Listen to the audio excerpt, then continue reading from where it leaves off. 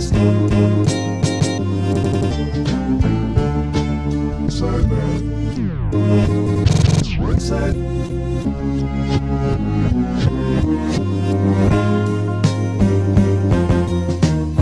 She sees love in his face.